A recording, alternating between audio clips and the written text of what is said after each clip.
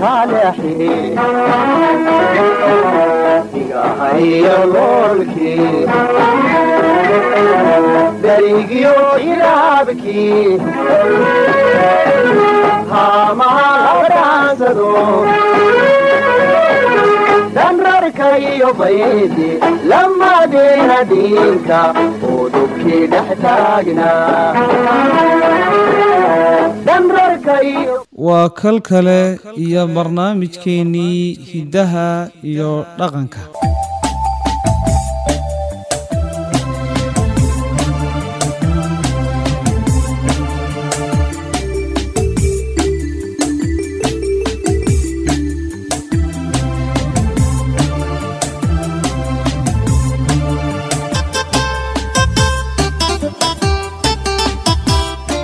Dhegaystayaal toddobaadkanna waxaynu ka hadli doonnaa dhirta iyo siday noloshayna miyi ay saamaynta ballaadhan ugu lahayd waayadii noloshu ay ku koobnayd miyiga ee aynaan qoob wadaag la yeelan dunida casriga ee maanta aynu ku nool lahay.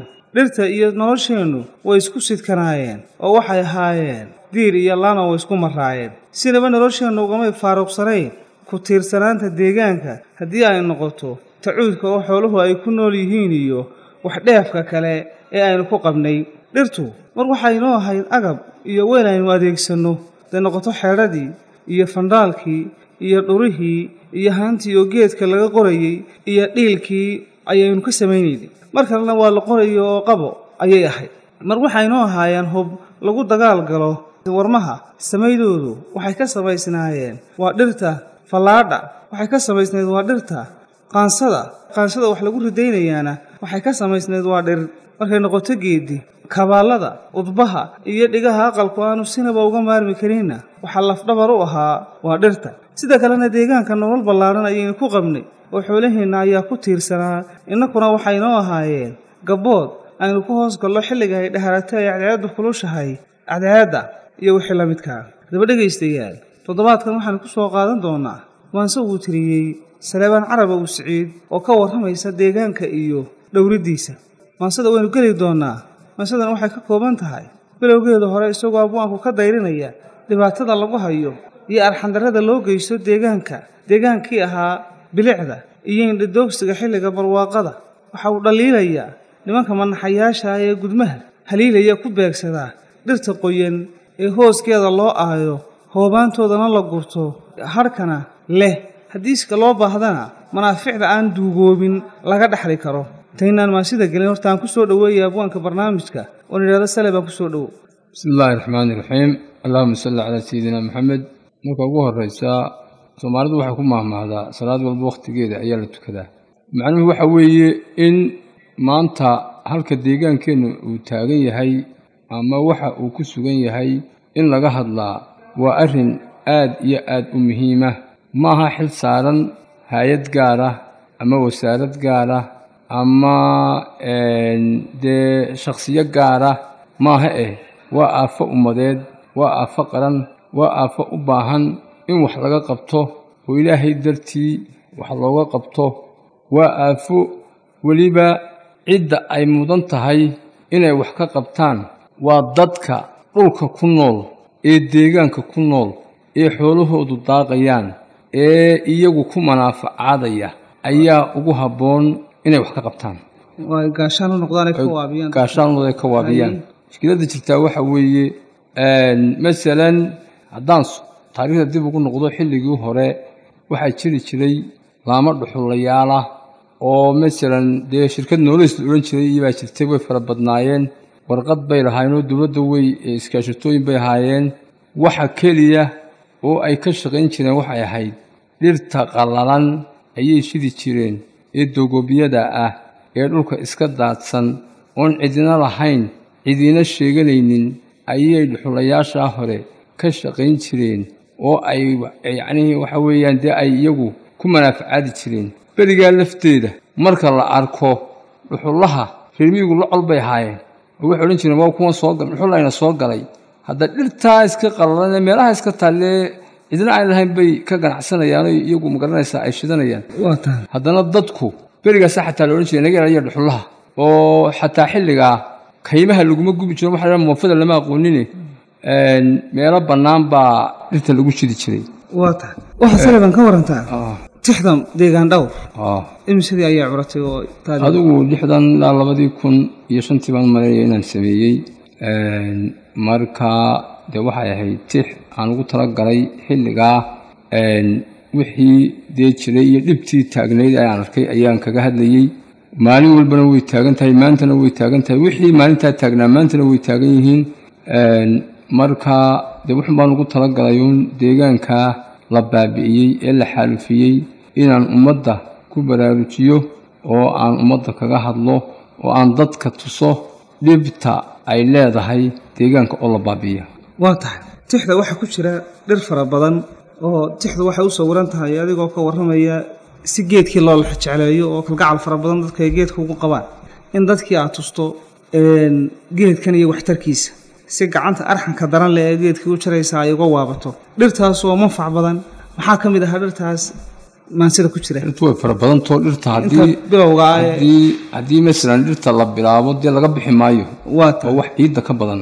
Waa tahay laakiinse dee marka ugu horeysa dhirtu imika way kala duwan tahay deegaamada ummadda soomaalidu dee qolo waliba halkay joogtay dhirtu waxay u geedunbay shidaa waa masalan inagu dhirtii dee inoo dhirta ahayd galoolkii iyo galoolkii iyo ma garanaysaa dee iyo dhirta adigu imika galoolka ugu badan intan inta badan inta la shido. Waa dhir kaloo fara badanna waa la shidaa. Marka imika xataa meegaagay ku daraano maraagay xataa shidaano quracay shidaano geed kasta way shidaano imika way sii- badanaysaa un dhibaatadu way sii badanaysaa markastoo dee geedkii yaraadaba haddana waa la bedelaya waa la bedelayaa. Waa tahay mar walba waxaa soo baxaya sana cusub iyo shaqo cusub baa soo baxaysa. Waa tahay waxaa soo baxaysa een, imika waxay sameeyaan qofku wuxuu samaynayaa waxyaabaha imika ay sameeyaan. Waxaa ka mid ah marka dhirta la joojiyo dhirta ha la joojiyo ee masalan sharci soo baxo ama odayaashii dadku ku kacaan waxay samaynayaan geedkii ayay xagga hoose sidaa ayay gudin ugu wareejinayaanoo geedka way waxa weeye way qallalinayaan gunta ayay guntay ka ay- ayay wax alla wixii jiliftii iyo waxbay ka qaadayaanoo geedkii guntay ka caddaynayaan. Si geedku u qallalo guntaa laga qoomaya geedka. Laga qomi maayo ge- geedku wuxuu ku dhisan yahay. Geedku horta sidiisa waxaa la yidhaahdo diirka ayuu geedku ku taagan yahay. Geedka haddii la jirde ma jirdeysi baa jira dhaqanka jirdeysi baa jira. Marka geedka guntiisa marka la wada diire ee laysku banneeyo geedku qalalaya marka geedkii ayuunbaa laga wareejinayaa gudin dabadeetana waa la geedkii wax alla wixii diirkii baa laga wada qaadaya xagga hoose waa la lafta dabeetana geedkaas wuu qalalaya taa way sameeyaan. Waxaa kaloo ay sameeyaan dhirta way jarjaraanoo intay googooyaan bay iyo meelo la tagtagaano meelo ku soo caasaano taana way sameeyaan. Marka waxaa kaloo soo baxay oo dhaqanka aan ku jiri jirin berigii hore imika dadkii qof waliba dadkii reer miyiga ahaa wuxuu qaatay waxa la yidhaahdo dumarkii oo kale dhimbiishii iyo dhaameelkii iyo wixii dadka ka dhexeeyey bay guranayaan. Waa tahay. Oo masalan qof waliba wuxuu qaadanayaa jawaan. Dhirtii qaraabkii dadku ka dhexeeyey geydhihii dhaameelkii haddii beedinka wax alla waxaasoo dhan baa jawaana loo guranaya in baa la guranayaa waa la boobayaa dabeetana waa la tahay. Waxyaabaha cajaa'ibka labay ka mid tahay iminka soo baxay berigii hore dhulka lama kala lahayn. Dhaameelka iyo geydhaha iyo wax alla wax dhambiisha iyo waxaa dadku way ka dhexeeyeenoo waa la iska daadsan jiray oo dee xoolin baa iska cuni jiray. Laakiin imika kala yeelashay maraysaa? Waxaanay ku maraysaa dad baa intay hangoolla qaataan markaaba boobayo guranaya oo ka guranaya wixii ma garanaysaa way jawaanii ka buuxsanayaan dabeetna guryaha lagu kaydsanaya waxyaabaha soo baxay ee dhaqanka soo waa baxay dhaqan doorin ay- ayay ka mid tahay. Waxaa kaloo soo baxay dhirta inta nooca loo garaaco haddaan wax ka taabto waxaa ka mida waxaan la yidhaahdo dhuxulaysiga waa loo garaacaa waxaa kaloo ka mida xoolaha marka abaaruhu ay dhacaan waa loo garaacaa weliba suxun baa loogu garaacaa sifoolxun baa loogu garaacaa. Waa. geed iyo eh, xataa idaha loo berigii hore Macalinta? maca idaha loo garaacaya taasina way baabiisay. Waxaa kale oo ka mid a waxyaabahan seerayaashan dee dhulkan la oodanayo iska seerayaasha iyagana waa lagu oodaa. Waa mise nooc waa saddex. Saddex nooc sow maaha waxaa kaloo oo jira oo iyaguna loo samaynaya loo garaacaa. Waxaan la dhisayo ee masalan dergedaha iyo waxaan la dhisayo iyagana waa loo garaacaa. Laakiinse kuwaasi waa laba nooc. Tuulayaasha iyo deegaamada miyiga wixii lagu dhisanayo ee aan xadgudub ahayn way iska bannaanaan karaanoo dee waa bino waa hanti. Waa tahay laakiinse waxaa dhacday magaaladan hargeysa ama magaalooyinkan somalilan ama dee magaalooyinkan oo dhan ayaa waxaa loo soo garaacayaa baskii kastee laga dhisaya magaalada miyi baa looga doonayaa sarafkii? Ayaa miyi looga doonaya?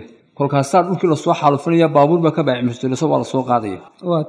Waxaa kale oo jirto iyaduna dhibaatada ka mid a suuliyaasha berigii hore waxaa lagu samayn jiray bir baa lagu samayn jiray. Berihii markii la iibiyey ee la gurtay ee laga dhigay iskaraab ee xaggaa loo dhoofiyey iyo etoobiya ee dadkii gurtay berihii ee laga baaci mushtareeyey dabadna aan waxba laga keenin. Ayaa waxaa dhacday wax alla wixii suuli la samaynayay waxa ydhaha qori suuli galoolkii ayaa la soo jarayaa galoolkii weliba da'yarta ahayd ee baxayey ayaa la soo jarayaa dabeetna waxaa la keenayaa magaaladii baa la keenaya qori suuli baa laga dhigaya. Kaana baabuur baa ka mushtarayso oo waa la keenaa.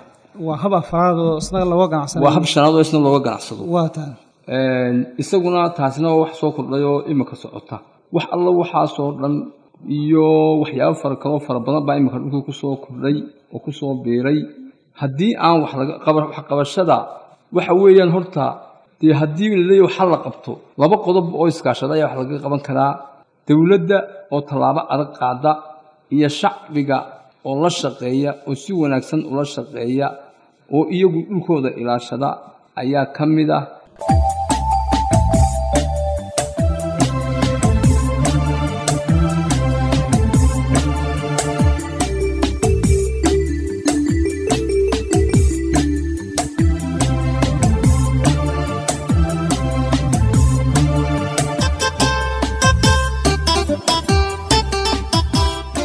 dhegaystayaal intaasaynu ku saameynaynaa barnaamijkeennii hiddaha iyo dhaqanka. Waa duubidii sacad axmed caydid anigoo mawlid aadan ah inta aynu kalkan oo kale isugu iman doonno waxaynu iskaga tegaynaa nabaday iyo nooli kulante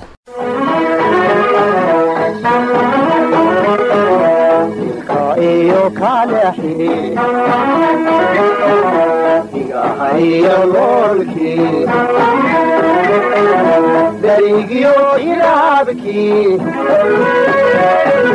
haamaha labadhaansado dhanrarka iyo baydi lamadeena dhiinka oo dhubkii dhex taagnaa